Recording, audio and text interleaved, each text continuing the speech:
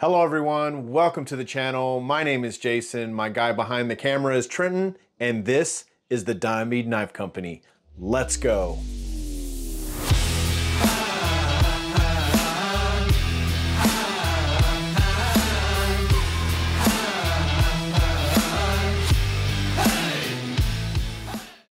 Welcome back to the channel everyone. Glad you're here. If you're a first time viewer, thanks for stopping by. If you're a previous viewer or subscriber, we really appreciate your support. So today's episode is going to be a good one. It's all about Gerber knives. We got a bunch of them on the table, so let's check them out.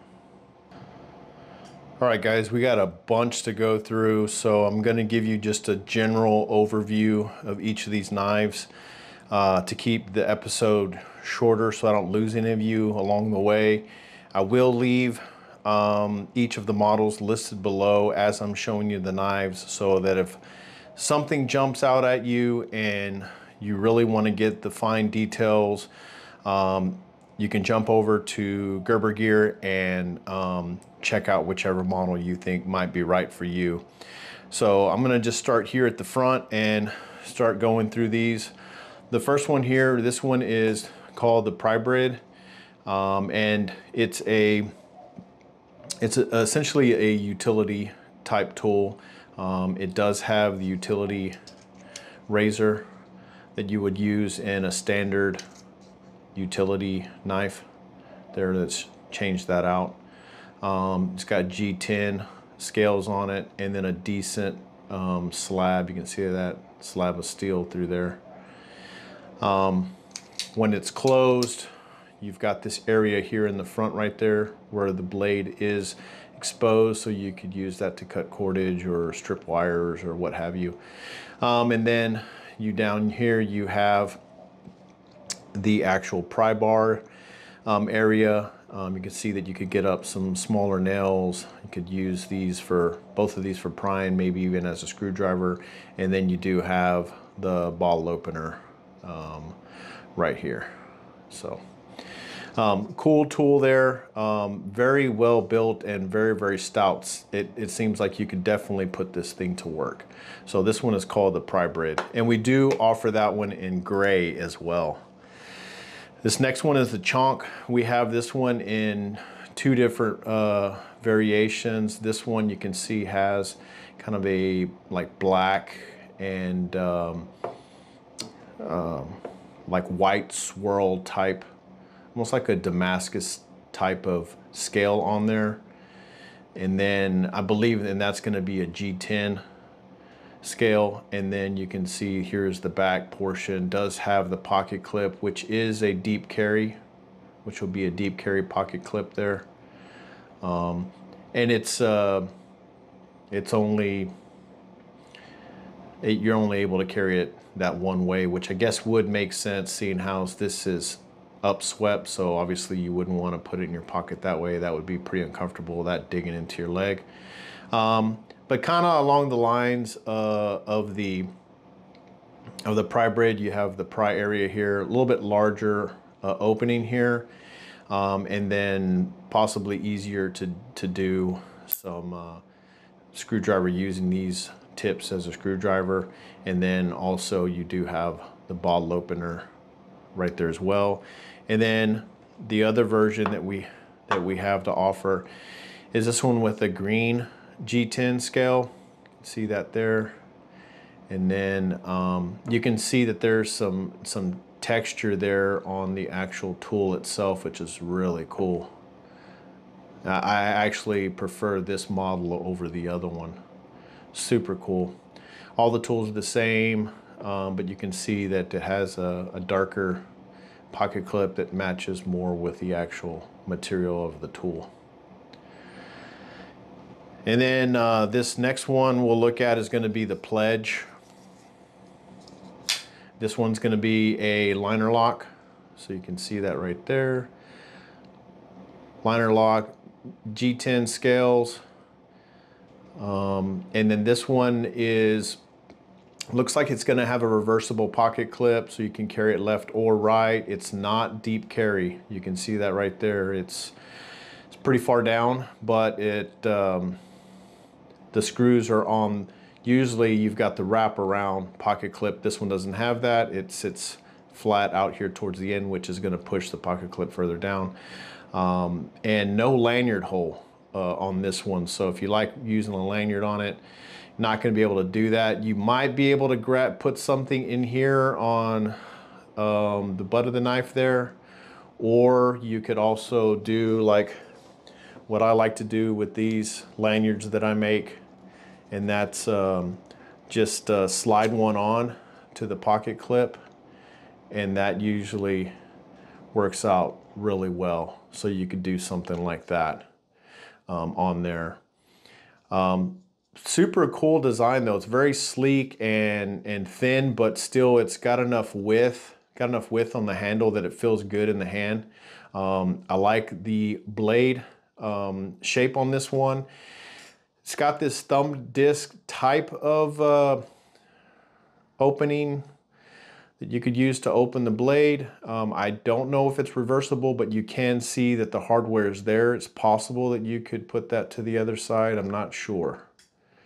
Um, but that's going to be your for your blade deployment there. You can just see that there. You can kind of just roll that with your thumb there. Um, so su super cool, super cool design. I really like this one. Like I said, it's lightweight. And um, if, if this one looks like it's gonna be one for you, like I said, I'll leave everything linked below and you can go and check that one out over at Gerber Gear. The next one that we're gonna have is gonna be another liner lock and this one is the Fuse. And this one does have the dual thumb studs for deployment, both there on both sides. Um, you can see that, like I said, it is a liner lock, so that's where it's going to actually mount up there. This is a much thinner knife. You can see that, how thin that is right there. So, and, and it's a, probably about the same weight, um, but uh, definitely thinner. So this, this would really disappear in your pocket. Um, this one is only going to be uh, right hand carry and tip up carry. You can see the pocket clip is right here. It is a deep carry pocket clip, but you're only going to get it on that one side. And that's it because you've got um, this insert here on the other side. And I really like what uh, Gerber's doing with their pivots. They've got, you know, they're incorporating designs into them so they're just not your standard boring, just round uh, type of pivot. So that's that's super cool. Like the uh, shape on this blade as well. Um, kind of like that drop point there. It's got some good belly on the blade as well. So really like, overall really like this knife as well. And then you'll see that all of these knives on the table um, have green handles and that's that's just because I have to order everything um, for our store and in the process of doing that when I look at the shopping cart at the end of putting everything in there, what do I see? Nothing but knives that I like, which are green handled knives. So hopefully all of you like the green handled knives as well. Um, this next one is gonna be the Slimsada, and then we're gonna get into, these are going to be uh, frame locks, and I really, really like this knife. Um, I'm on the fence about whether or not one of these is going to go into my personal collection, and I'm leaning towards that it probably is going to. Um, thin micarta uh, scale on this one, and then it's got a small back spacer here and the barrel standoffs, and I really like the color of that anodized. It's almost like a maroon purplish type color. So super cool. And then on the back here, it's got the over travel um, right here with the, the insert that matches the scale on the front, which is super nice. I like how that gives, kind of breaks up the aesthetic of the back where it's not just all one piece of, of uh, you know, one slab of metal there. And I do like that the pocket clip um, has a different um, look to it versus the metal for the frame lock. So that just really, I think that all complements each other.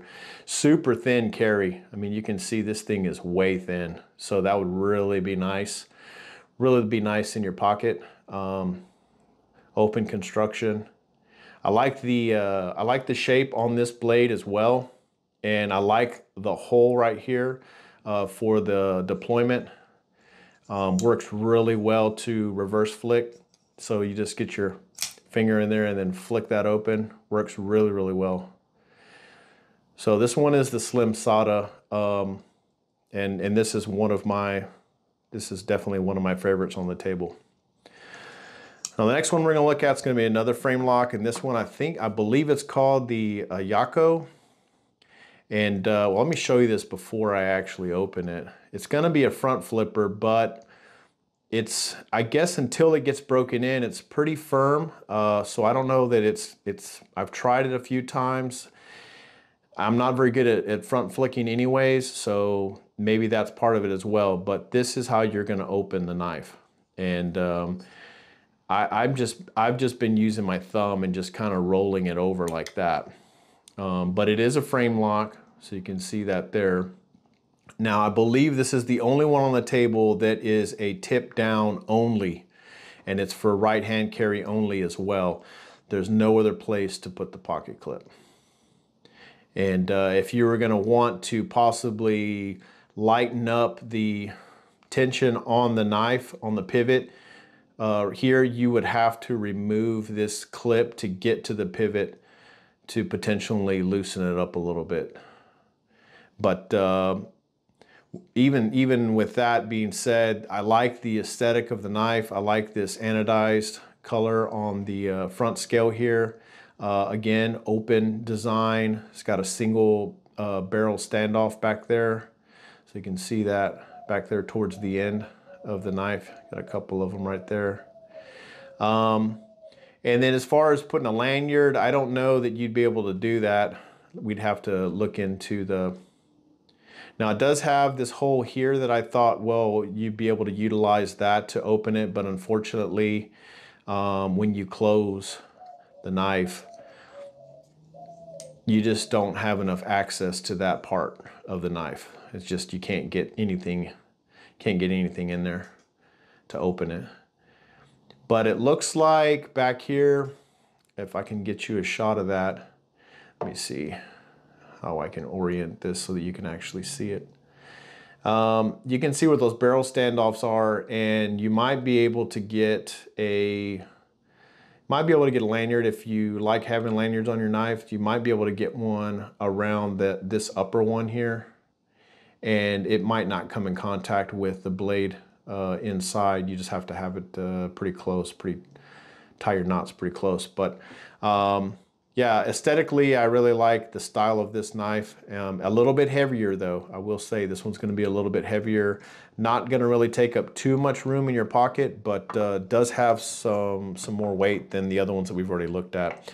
Uh, and as far as this next one, this is the Flatiron. Um, again, this is gonna be a uh, liner, uh, not a liner lock, this is gonna be a frame lock, frame lock like the other two that we've already looked at.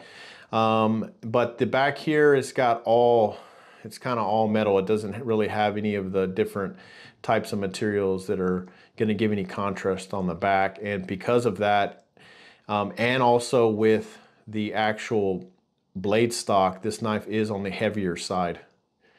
But I will say it is ground. You can see that pretty thin towards the edge. So this should be a really good slicer. Um, but it does have some weight. With that being said though, um, it feels very, very stout. Like you could, you could definitely put this knife to work. Um, it's got some heft to it and uh, it does have the, does have the fidget factor to it. I like uh, being able to, um, to reverse flick it like that and it, it, the action on it is really good.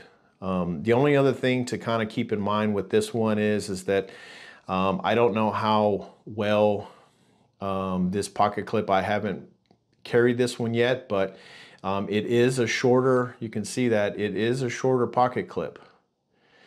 So um, I don't know how well that would work in the pocket. Um, but uh, it might be all right, but you're only going to be able to carry it um, right hand and tip up. So that's all you're going to get with this one there. But other than that, um, it is a, a, you know open design like most of the ones we've been looking at. Um, you can see all the barrel standoffs there. Um, again, with this one, there's no lanyard hole and I don't think that you'd really be able to get one back here around that without interfering with the blade. So um, something to keep in mind if you like lanyards on your knives and I, I primarily do have a lanyard on all my knives so that might be a deal breaker for me or for some of you. Um, this next one is going to be another frame lock and this one is the Asada. Um, I really like this knife as well. Um, it's a little bit thinner and a little bit lighter than the Flatiron, but um, does have different uh, material here. So the other one was aluminum. This is gonna have a thin uh, slab of this polished uh, micarta. And you can see, get a picture of that. See, it's kind of got a, just a real thin liner uh, or a scale um, on that liner on that one side there. And then like the other one, it does have different materials or colors for the pocket clip and the over travel stop. So that's nice. It makes some, gives you some contrast there and it looks really nice on the back. Um, pocket clip, a wider pocket clip, but longer than the Flatiron. Um, and uh, they do give you a hole here where you could tie a lanyard onto there if you wanted to. And so that's nice. But again, same thing with this. It's not reversible. It's not really deep carry. I mean, it's all right. But uh, you can see how far back it's going to be from the edge, from the butt of the knife. Uh, but uh, still should carry okay. I'm thinking with a longer pocket clip, it would probably be nice. Um, pretty thick blade stock as well on this one. See that, but it is the same type of grind, so you can see it does go down to a pretty good point there. So should have some really good slicing on this one as well. And I like on both of these that they do have that forward choil so you can get your whole hand on there and really get really get a grip on that with your thumb up here you could again with this knife and like the Flatiron you could really put this knife to work you could really do some heavy pushing through some materials whether it's hard cardboard I mean if you're carrying it you're in a in the office or you know in the shop I'm sure that you could do some some good get through some tougher tasks with a, a knife like this um, and then the next one that we have, we'll kind of switch up the pace here and, and uh, we're gonna look, this one is a, this one's called a Straightlace and this one is a slip joint. So it does have the half stop there. So you can see that there. And then there's the full stop there. So I'll give you a shot of the, the full knife really nice, very, um, I think more of a gent's knife, a gent's carry. And uh, it's got that polished blade. I like how it has that nail nick that goes across the whole uh, top of the blade there. The polished bolster, um, that, that, that top is completely uh, on here on the back. It's all completely polished as well. Um, now this one, uh, does have a pocket clip on it. It's kind of a smaller pocket clip again. Um, however, this one will give you reversible, so you can carry left or right. Um, uh, only tip up carry though. And the other uh, neat thing about this, which you don't normally get, is you've got a lanyard hole right here. So you could add a lanyard to this. So that's a nice nice addition to this, uh, this model. And then there's your half stop and then your full close. And this next one we're gonna look at is the highbrow. Now this one is gonna be, a, it's an assisted open knife, um, but it does have the crossbar lock on it. And it does also have this additional lock mechanism up here on the top that will actually allow you to lock it since it is an auto so that it won't fire in your pocket. For some reason you were to hit that or what have you, you have that lock forward, it's not going to deploy until you actually pull the lock back. Then once you do that, you just use the flipper tab and then that flies open. Um, and then you would use, obviously, you would use the crossbar lock to pull back and then to actually close the knife.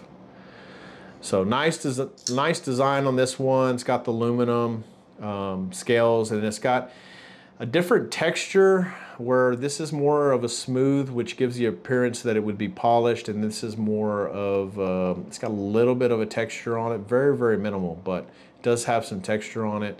Um, so it looks like it's two different scales, but it's actually just the same piece.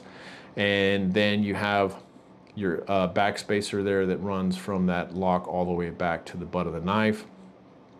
You do get a, um, a reversible pocket clip, so you could carry this one. You can see that you would be able to mount it right here if you wanted to carry uh, left hand. And then you also do get, um, right here, you also do get a lanyard hole right there, which is pretty generous too. You could put, uh, you know, definitely have no problem putting a lanyard on there. The pocket clip again um, is not going to be very deep carry. You can see how far down that's going to be.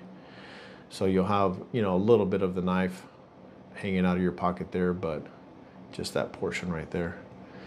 But, uh, and then there's the inner, inner look at the knife there. You can see where that locking mechanism is right, uh, right here under underneath.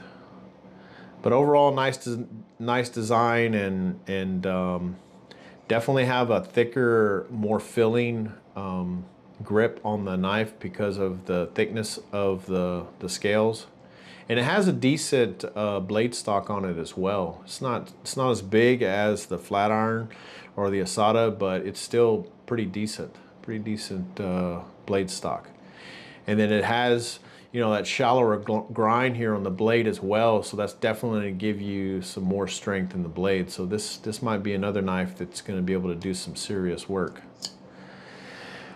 Now the next one is going to be just a straight up crossbar lock knife and that's going to be the Assert.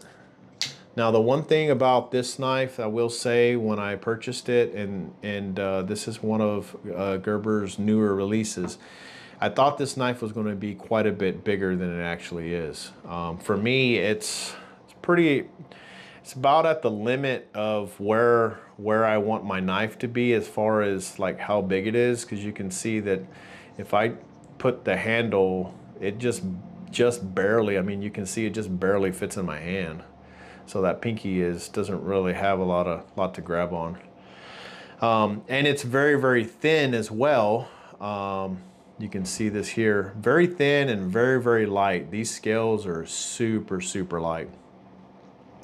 Um, so not a very big knife this way is also. So this knife for sure would just really disappear in your pocket because it's super light and it's not very, it's not very big. It's not very wide and it's very, very thin. Now, this knife will give you, it does have the, the deep carry pocket clip on it and it is reversible. And with the crossbar lock, this would be a great knife for uh, left hand or right hand carry. Um, and then also on the blade, another nice thing about this knife, another option that you have is, is with the thumb studs here, you can adjust it to where you would like that to be so that when you're using those to deploy the blade, um, you can get it in a spot where it makes sense for your thumb. Like for me, I would really need to push it up further because it's so short. I'm, I'm really having to reach far back on the blade like this, but if I could get it further up there would be a little more, it'd be a little more comfortable for me. I'm really having to, to bring my thumb back um, to try to get to it. I'd rather be further up here. So you do have the option of doing that with this knife. But overall, uh, really nice design, really nice uh, knife, generous lanyard hole right there. Um, so you could definitely put a lanyard in there. And nice design on the pocket clip as well because um, it kind of breaks it up. You know, you've got that little slit in there that just really makes it look nice. I hope they do make another release in the future and they make like an extra large, like a large model of this knife. That'd be really great. I'd be, I'd be all about that one. And then the last one we're going to look at here is going to be the Propel. I will say the Assert and the Propel, these last two are American made uh, knives. And before I go to the next one, I'll show you guys here that um, it's American made and it does have the uh, S30V uh, blade material. I don't know if, I, if I'm getting a good enough shot for that.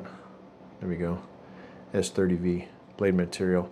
Um, so higher end knives, uh, obviously they come with a higher price point, but um, definitely quality materials. Now this next one, you can see that I already have a lanyard on it because this one is not gonna make it to uh, our store. It's not gonna end up on our shelves. Um, we'll definitely have to order more of these because um, I just I just love this knife. Uh, it's an auto and it's just a real solid, solid filling knife. Everything about it. The locking mechanism, the push button, the way the blade comes out with that auto feature, the back spacer here, this thick back spacer that runs the whole length of this all the way out and then is exposed at the end there. If I can move the lanyard out of the way. But you can see that that comes all the way out and uh, you could definitely, I mean, you could definitely beat on something or if you know use it as a glass breaker or whatever hammer something if you needed to it's very very stout um, and then you can see inside here there's the actual locking mechanism for the button so right in there see if you can I don't know if you can actually see that when I'm actuating. Yeah, you can get a look at that, how it plunges down. There's a round cutout in the blade and that's where that'll grab the blade when it releases the blade under the spring pressure and slings out. Um, does have the lock right there. And then when you slide it back, actually you get the red and obviously means it's ready to fire. Um, and then this knife is uh, re reverse carry, so it does have the pocket clip. Again, not a very deep carry pocket clip, um, but I've, I've been carrying this one and it doesn't bother me at all. I really, really like this knife. Um, you can carry, um, so right hand carry on this knife, you could carry the way it is with tip up or you could move it to tip down if you wanted to. But if you want to carry it left hand, you're only going to be able to carry tip up, which you'd move it right here because of the pivot and the button and all that, you don't get the option of carrying tip down. But for me, that's that's not a deal breaker at all because I don't carry any of my knives uh, tip down. I carry them all tip up. So yeah, this is just a great overall knife. Just thick slabs of G10. The texture on here is really awesome. And um, I just, out of all of these, this is the one that really spoke to me. So if any of these look, uh, look like they might be something you'd like to have in your collection, like I said, we'll put the link underneath for each of these knives. You guys can go and check those out. And uh, hopefully we've shown you something that you like. Well, I'm gonna go ahead and bring you guys back out around and uh, I'll give you my final thoughts on all these knives. All right, guys, as I mentioned before, I hope that we showed you something that you really liked. Um, we'll leave those links for you to jump over to the Gerber Gear, check out uh, any of those models that you think are right for you. And then also, before we get out of here, I did want to mention you still have time to get registered to win our giveaway. Um, we're going to be giving away two Kubey knives and a Kubey case. If you haven't seen our first video dismantling Kubey knives, um, we'll leave a link. We'll leave a link up here for you guys. You can jump over and check that video out and all of the of the instructions for the registration. Um, you can find them in the description of that video. So if you're watching this video and it's before August 31st of 2023, then you still have time to get over there and get registered. Um, I hope that you guys hung around to the end of the video. If you did, really appreciate that. Um, also, you can see here on the uh, table here, we've got a bunch of other blades that weren't in the video today. Um, just a little prelude to our next video, which is gonna be knives that are going into my personal collection. So be on the lookout for that. Um, that's all we've got for you today. So you know the deal, guys. Uh, until the next episode, be sure to keep those tips up.